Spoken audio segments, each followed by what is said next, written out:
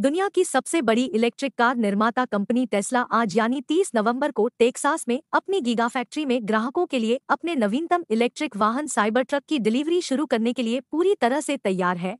Reports के अनुसार, Tesla उन ग्राहकों को पहले 25 साइबर ट्रक वितरित करने की संभावना है, जिन्होंने 2019 में अपनी शुरुआत के बाद से इलेक्ट्रिक पिकअप बुक किया था।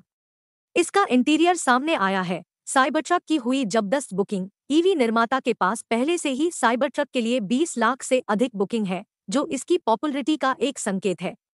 आधिकारिक लॉन्च से पहले हम अपने इस लेख में टेस्ला साइबर ट्रक और इसके डिलीवरी इवेंट के बारे में कुछ प्रमुख विवरण लेकर आए हैं।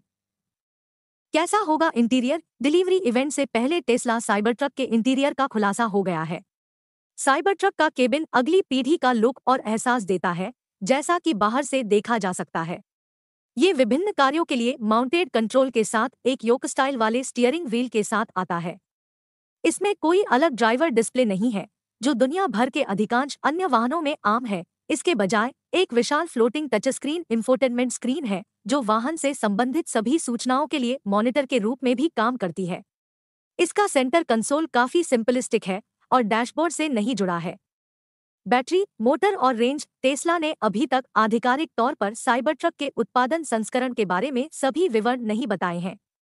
रिपोर्ट्स के मुताबिक इस साइबर ट्रक को तीन संस्करणों के साथ पेश किया जाएगा। एक single motor, rear wheel drive संस्करण होगा जो सबसे किफायती होगा, उसके बाद डुअल मोटर संस्करण होगा, जो ऑलव व्हील ड्राइव के साथ आना चाहिए। अंत में टॉपफग्रेन संस्करण एक तीन मोटर वेरिएंट होगा जो सबसे शक्तिशाली होगा। रिपोर्ट्स के मुताबिक साइबर ट्रक सिंगल चार्ज में करीब 470 किलोमीटर की रेंज के साथ आएगा।